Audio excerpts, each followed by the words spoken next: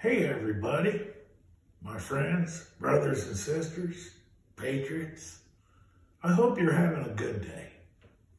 I had to get on here and share this news with you. This is the real news. I saw Andy Cohen and Anderson Cooper on national TV getting drunk as a skunk. Not only did I see these two lovebirds getting drunk as a skunk, but I saw them side by side. Andy Cohen actually had his arm around Andy Anderson Cooper. That's okay. They can do whatever they want to do. But the one thing I saw, which New York Governor Andrew Cuomo is totally against, but yet allowed it to happen, these two love bugs weren't wearing a mask.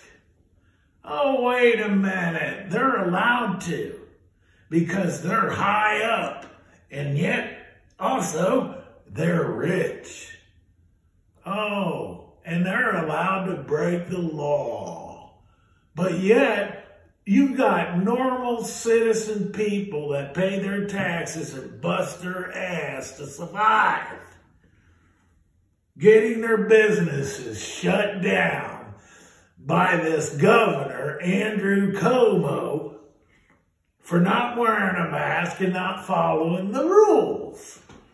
But yet, these two love bugs are allowed to break the law and break the rules. What's up with that? And you know what's so funny? If you go check out the video, and I do have it on my YouTube, or my Facebook channel, my page, Michael Biegler, Facebook, you can see the video yourself.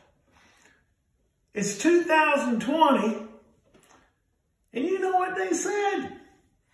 They said we're going to flush 2020 down the toilet.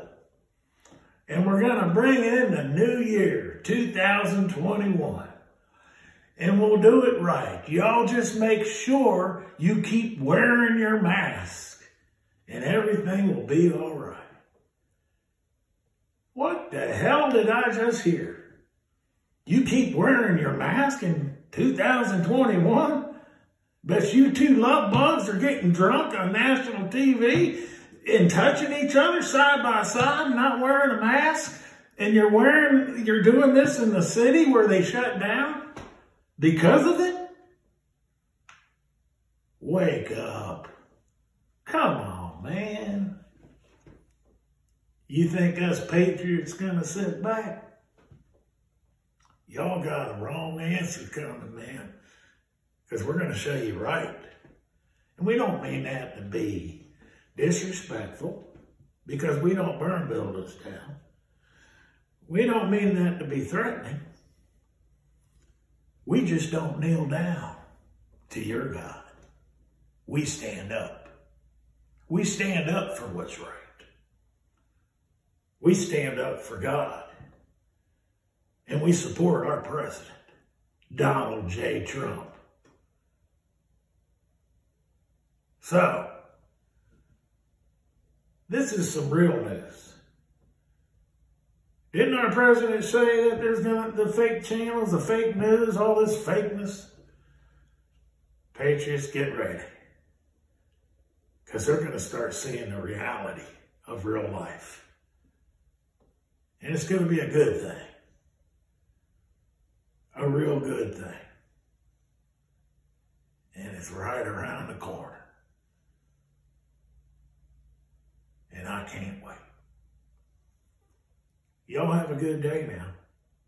And know that God loves you. President Donald J. Trump loves you. And I love you too. Until we see each other again, have a good day.